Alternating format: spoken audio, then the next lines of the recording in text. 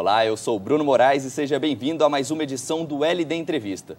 Periodicamente, o Banco Central realiza pesquisas sobre a relação da população brasileira com o dinheiro, nos quesitos conservação, hábitos de uso de cédulas e moedas e identificação dos elementos de segurança. Em março, o BC divulgou a pesquisa O Brasileiro e sua relação com o dinheiro, feito pelo Instituto Zytec Brasil no primeiro semestre de 2010 em todas as 26 capitais brasileiras, no Distrito Federal e em municípios com mais de 100 mil habitantes. O objetivo é extrair subsídios para a gestão do meio circulante nacional. Para conversar sobre esse tema, eu recebo o chefe do Messi, João Sidney Figueiredo Filho. Seja bem-vindo, João Sidney. Muito obrigado, Bruno. João Sidney, a nossa primeira pergunta é sobre a importância dessa pesquisa para o trabalho desenvolvido no Messi.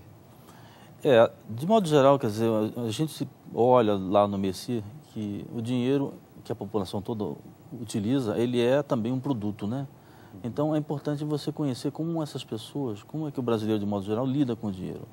Então é, é importante a gente ter a noção se ele é, confere o dinheiro, se ele conhece as características, como ele é, manuseia, como conserva e também, que eu acho que é um aspecto dos mais importantes, é com que frequência ele usa a moeda porque isso também é um dado extremamente importante para o Messi, porque a nossa função é estar provendo a sociedade com células e moedas em quantidade, qualidade e segurança adequados à, circulação, né, a atender às atividades eh, econômicas. Então, esse olhar para o uso da moeda é, é muito importante, até para o planejamento de produção de novas notas, de novas moedas, de tamanhos, por exemplo, da logística que o Banco Central tem que utilizar na distribuição, enfim, orienta a, a, as ações é, de gestão do meio circulante brasileiro. João, na pesquisa foi identificado que a principal forma de pagamento ainda é o dinheiro e não o cartão de crédito ou débito, com, como muitas pessoas podem pensar, embora tenha havido crescimento no uso do cartão. Uhum. A relação a gente pode fazer entre esses três meios de pagamento? É, o dinheiro é, é, é, a forma mais antiga de, de, uso, né? Então, o que a gente observa, é, não só no Brasil, mas uma tendência no mundo, é que, é, embora é, é haja uma evolução das tecnologias, o dinheiro ainda permanece como um importante instrumento de pagamento. Uhum. O que a gente tem observado é que ele também é, é, ele mantém, na verdade, uma faixa de produtos, de valores, no qual o seu uso, digamos, fique mais é, econômico, mais recomendável, que a logística facilite bastante. Uhum. Transações de baixo valor, elas são, digamos assim, preferencialmente feitas com esse instrumento, o dinheiro. Né? A gente também observou na pesquisa, isso chamou bastante atenção, é, pagamentos de salários na faixa de 55% no país feito em espécie. Né? Então, quer dizer, isso também é um dado muito relevante é, que mostra também que é, não só para pagar, mas também como é, fonte de renda do trabalhador brasileiro está sendo a moeda espécie. Mas, de fato, está havendo uma expansão do uso dos outros meios, notadamente cartão de crédito, cartão de débito. É, isso certamente é, é, um dado importante, porque é mais uma opção de, é, de, pagamento que também dá acesso a outros bens de consumo de maior valor. Né? Uhum. Então, de modo geral, esta, este olhar para o uso da moeda, é, é, com que frequência, valores, é, se está usando mais isso e aquilo, isso é muito importante para o Banco Central estar atento a isso e para as ações também do MESI, no que se refere à sua responsabilidade de estar adotando o meio circulante adequado para a população um levantamento curioso feito aí na pesquisa é sobre as notas preferidas da população. Quais uhum. são as notas preferidas da população? É, são as notas de baixa denominação, 10 reais, 5 reais, 2 reais, ficaram entre as, no caso, as, as mais é, utilizadas. Né? Justamente isso corrobora o que a gente já colocou. É, você paga um transporte, um lanche, é, nas férias você está na praia, consome uhum. um sorvete, enfim.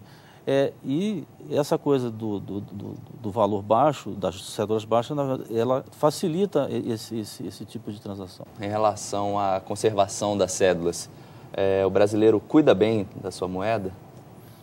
Vou olhar essa questão sobre dois aspectos. É, uma da guarda, né? Nota-se, por exemplo, que mais da metade das pessoas usam carteira, estão colocando as moedinhas é, em porta-moedas, mas ainda tem um, uma parcela de quase 40% de guarda no bolso, é, enfim, não, não tem um cuidado que a gente acha que poderia ser melhor para aumentar a longevidade do dinheiro. Só para você ter uma ideia, não sei se isso é de domínio público, mas da despesa anual que o Banco Central tem com produção de notas, é, 80% é para repor cédulas desgastadas, né, que são é, é, pelo manuseio, naturalmente ela desgasta, mas tem um, um, percentual razoável delas também que é pelo mau uso, mau descuido, é, enfim, rasgar, rabiscar, que é um dano que você apressa a, a, a, a perda da, da, do dinheiro. Um levantamento importante feito na pesquisa é que houve um crescimento significativo do número de brasileiros que possuem conta corrente hoje no país. Podemos interpretar isso como um maior aumento no acesso da população brasileira às instituições financeiras?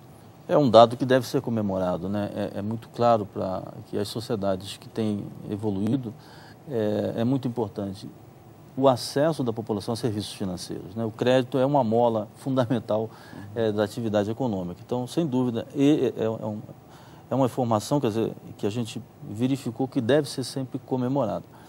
É, e, naturalmente, também é, auxilia o Banco né, Central na questão do numerário, a, porque uma vez que você tem mais acesso a serviços financeiros, pode eventualmente ter mais acesso a crédito e, de alguma forma, isso também tem impacto no uso da moeda corrente. Então, é, estamos atentos a todas essas informações. João, para finalizar, tem mais alguma coisa que você gostaria de destacar? Que tenha sido um levantamento relevante feito na pesquisa, o brasileiro e sua relação com o dinheiro? É, o, o, acho que o dado muito importante disso tudo, é, quando a gente olhou para a pesquisa e constatou ainda que o dinheiro é um, um meio de pagamento muito utilizado no país, isso está é, alinhado com, com, o que está acontecendo no mundo, de modo geral. Embora a gente tenha observado uma redução na proporção do uso, mas é, em termos absolutos, é, o meio circulante nacional cresce a taxas em torno de 15% ao ano. Então, é, e as é, projeções para os próximos 10 anos indicam a manutenção de um nível entre 10% e 15% de crescimento. Né? Ou seja, temos que estar muito atento ao uso do brasileiro com o dinheiro, porque o dinheiro vai continuar sendo um, um meio de pagamento muito importante para o brasileiro. Então, esse é um aspecto é, que eu acho importante ter, ter, ter presente. E, finalmente, para falar de moedas, que é uma questão que está sempre colocada aí, a gente tem visto é, até alguns comerciais que estão é, tentando mostrar que há falta de troco, eu acho que é um dado que eu queria fazer um registro importante que a pesquisa mostrou. A população de modo está satisfeita com a qualidade e a quantidade de cédulas e moedas. Até melhorou a percepção de que não há falta. Os estoques do Banco Central estão é, bons, confortáveis, tanto do Banco Central quanto do custodiante. É, enfim, nós temos hoje no país uma situação é, confortável de estoque que não há justificativa para eventual falta de moeda que de vez em quando aparece. E aí é um outro ponto também é, que a gente também observou na pesquisa do lado do comércio, que a pesquisa também abordou uhum. a questão do comércio, né? É buscar também ações que estimulem o comércio a buscar junto à rede bancária o suprimento das moedas que estão disponíveis para pronto atendimento. João Sidney, chefe do Messi, muito obrigado pela sua participação aqui no LD Entrevista. Muito obrigado, Bruno, pela oportunidade de trazer alguma informação para o público.